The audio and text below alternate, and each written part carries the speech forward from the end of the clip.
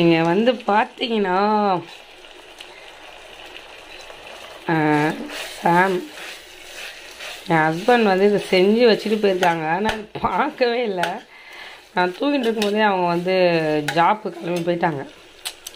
சரின்னு நான் video edit பண்ணேன் பாருங்கள் வீடியோ எடிட் பண்ணும்போது பார்த்தீங்கன்னா இந்த ரெசிபி இருந்துச்சு.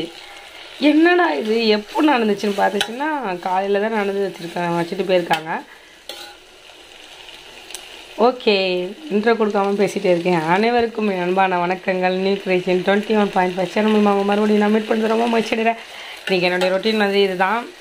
பாருங்கள் எனக்கு நல்லா என்னென்னா நல்லா கடமை வந்து இங்கே ரெடி ஆகிட்டுருக்கு அங்கே அவங்க செஞ்சு வச்சுட்டாங்க. மிளகுத்தூள் மட்டும் நான் போடலான்னு போகிறேன் அதுக்கு அடுத்தது நேற்று சாப்பாடு செஞ்சோம் பார்த்தீங்களாங்க அது செம்மையாக கஞ்சி நிறையா இருக்குது ரசமெல்லாம் இருக்குது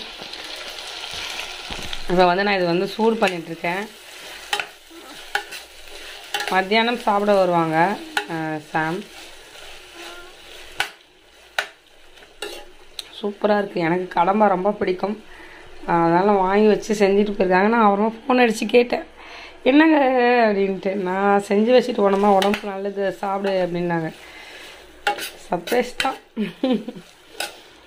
தேங்க்யூங்க உங்களுக்கு ஓகேங்க. நான் இந்த என்ன பண்ணுறேன்னா நான் சாப்பிட்டுட்டு உங்களுக்கு நான் என்னென்ன ஒர்க் பண்ணுறேன்னு உங்களுக்கு ஷேர் பண்ணுறேன் நிறைய பேர் ரொட்டீன் கேட்குறதுனால தான் நான் ரொட்டீன் எடுத்துகிட்டு இருக்கேன். இல்லை மிச்சப்படி நான் எடுக்கவே மாட்டேன்.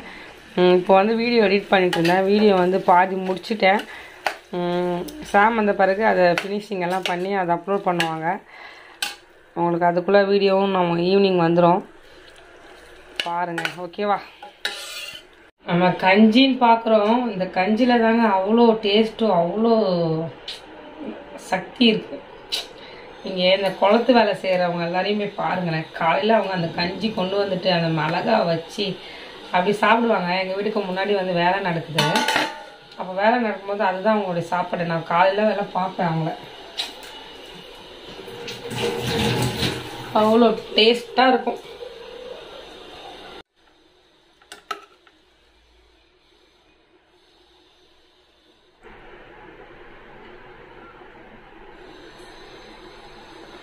நான் சாப்பிட போகிறேன் சாப்பிட்டுட்டு உங்களை மீட் பண்ணுறேன் ஈவினிங் ஆயிடுச்சு. மணி ஏழு மணி ஆக போகுது. எயிட் தேர்ட்டிக்கு எங்களுக்கு ப்ரேயர் இருக்கும். ப்ரேயருக்கு வந்துருவாங்க. சாம் அந்த ஜாப்லேருந்து வந்துருவாங்க. என்னன்னா நிறைய பேர் கேட்டிங்க. என்ன ஆச்சு? உங்கள் வாய்ஸ்க்குன்னு ஒரு சிஸ்டர் கேட்டிருந்தாங்க. கோல்டு ஆயிடுச்சுங்க. அதனால நல்லா சளி பிடிச்சிட்டு இருக்கனால அந்த வாய்ஸே வந்து வேறு மாதிரி ஆயிடுச்சு. ஏற்கனவே கொஞ்சம் நல்லா இருக்காது வச்சுக்கோங்க. ஏதோ சுமாராக இருக்கும்.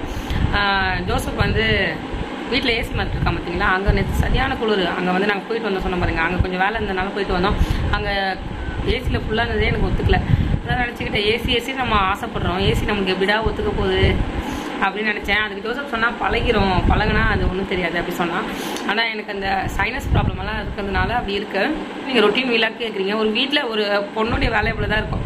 மேரேஜ் ஆன ஒருடைய உமனுடைய வேலை இவ்வளோ தான் இருக்கும் அதாவது படிக்கிற பிள்ளைங்களா இருந்தால் அவங்களுக்கு வேறு மாதிரி இருக்கும்.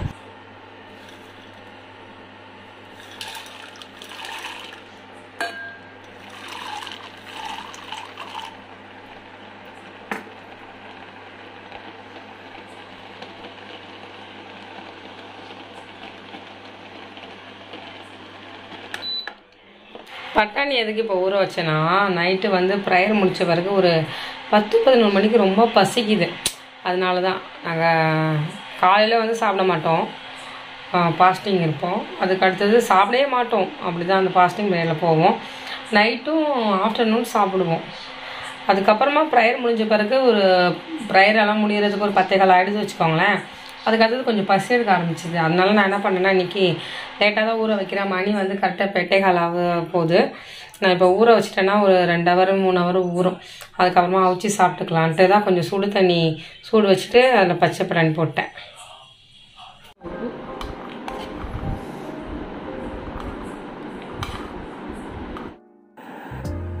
அதுக்கு அடுத்தது ப்ரையரெல்லாம் முடிஞ்ச பிறகு பச்சை பட்டாணி அவிச்சிருந்தோம்லாங்க அது வந்து நான் சாப்பிட்டேன். சாப்பிட்டுட்டு கொஞ்ச நேரம் உட்காந்துட்டு அதுக்கப்புறமா என்ன வேலை? தூங்குகிற வேலை தான். தூங்க போயிட்டேன். சில பேருக்கு நைட்டு கடலை சாப்பிட்டா ஒத்துக்காது. எனக்கு வந்து நல்லாவே ஒத்துக்கும். எனக்கு அதுவும் ரொம்ப மெயினாக பச்சை பட்டாணி ரொம்ப ரொம்ப பிடிக்கும்.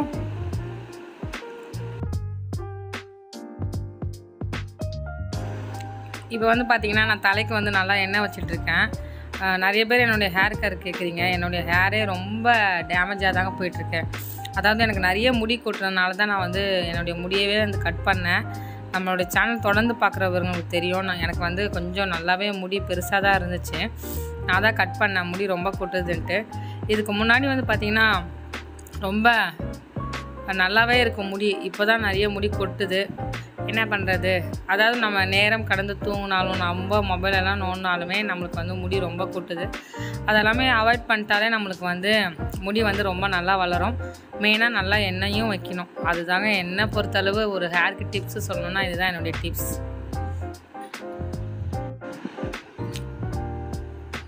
அதுக்கு அடுத்தது என்ன பண்ணுறேன்னா என்னுடைய பேண்ட்ரி எல்லாம் நான் தூக்கிட்டு வரேன். உங்கள் எல்லாருக்குமே தெரியும். என்னுடைய பேண்ட்ரி இதுதான். என் வீட்டில் இருக்கிற மளிகை ஜாமான் பொருட்கள் எல்லாமே இதில் மட்டும்தான் இருக்கும். இதில் இருந்தால் நான் எடுத்து யூஸ் பண்ணுவேன். கிச்சனும் ரொம்ப சின்னதாக இருக்க போய் நான் என்ன பண்ணுவேன்னா இந்த மூணு பேஸ்கெட்டில் தான் வச்சுருப்பேன். அதுக்கு அடுத்தது வேறு எங்கேயுமே இருக்காது.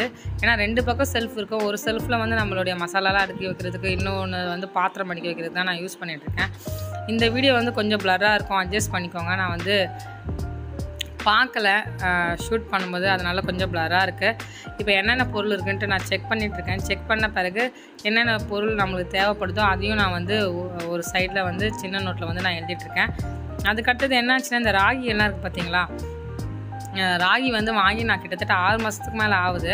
அதை யூஸ் பண்ணவே இல்லை நான். அதனால் என்ன ஆச்சுன்னா கொஞ்சம் வண்டு பிடிக்கிற மாதிரி ஸ்டேஜில் இருக்கு. ஆனால் வண்டு பூச்சி எதுவுமே இல்லை.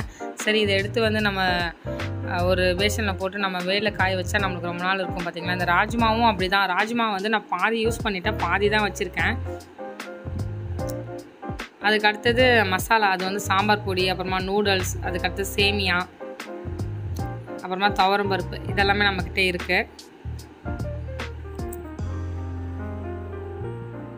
சாம்பார் வந்து அதிகமாக செய்வீங்களான்னு கேட்டிங்கன்னா சாம்பார் அதிகமாக நாங்கள் செய்ய மாட்டோம். எனக்கு வந்து ஒரு கிலோ பருப்பு வாங்கினாலே அது வந்து ஒரு மாதத்துக்கிட்ட வரும் தாராளமாக வரும்.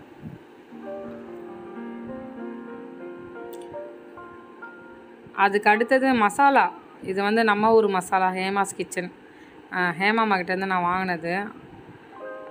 இது மசாலா வேணாலும் நீங்கள் வாங்கிக்கோங்க. இதோடைய லிங்க் வந்து டிஸ்கிரிப்ஷன் பாக்ஸில் கொடுக்குறேன். செக் பண்ணிக்கோங்க.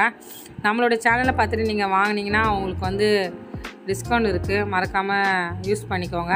நான் கேட்டிருந்தேன் அம்மாட என்னோடய சேனல் பார்த்துட்டு யாராவது வந்து வாங்கினாங்கன்னா நீங்கள் அவங்களுக்கு வந்து டிஸ்கவுண்ட் பண்ணுங்கம்மா அப்படின்ட்டு இருக்கேன். New creation twenty one point ஃபைவை பார்த்துட்டு நீங்கள் நம்ம ஒரு மசாலா வாங்குற மாதிரி இருந்தீங்கன்னா கண்டிப்பாக சொல்லிட்டு வாங்குங்க. டிஸ்கவுண்ட் இருக்குது டிஸ்கவுண்ட் இருக்கா? நான் எங்கே போனாலுமே டிஸ்கவுண்ட் கேட்பேன்.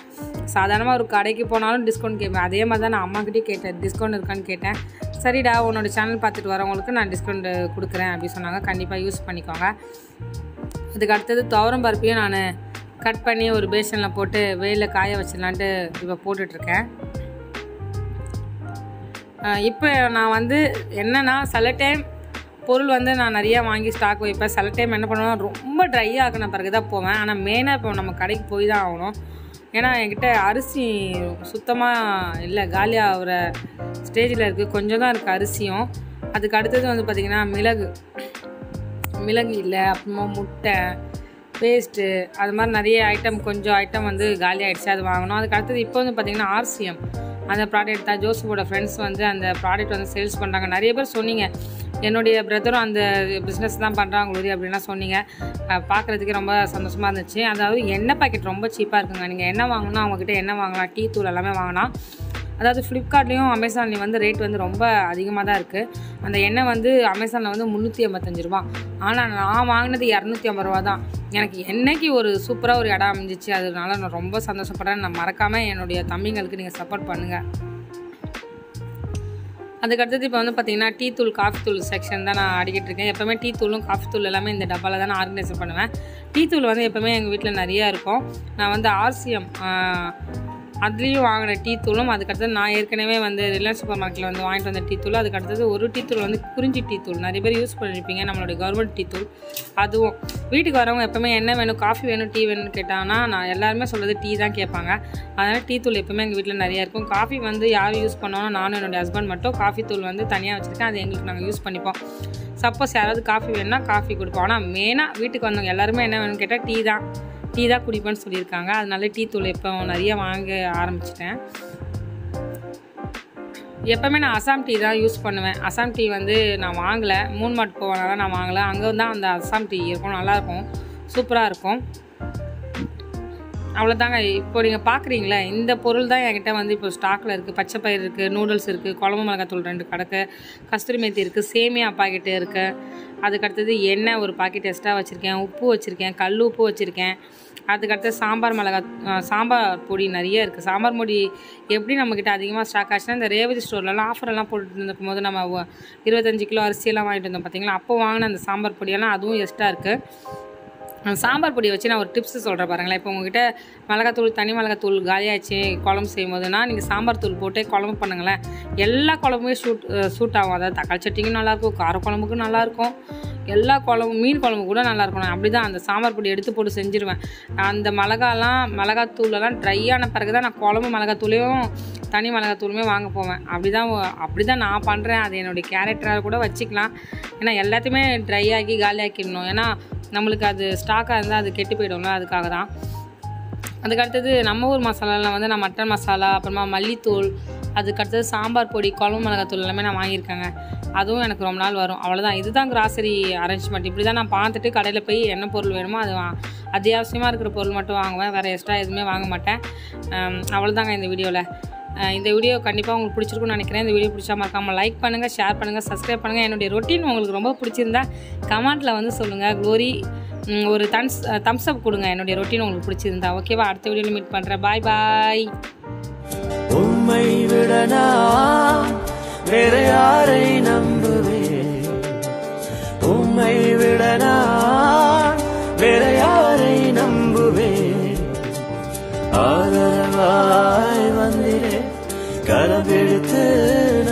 சென்றே ஆதரவாய் வந்திரே கரமிழுத்து நடத்தி சென்றே உம்மை விட நான் வேற யாரை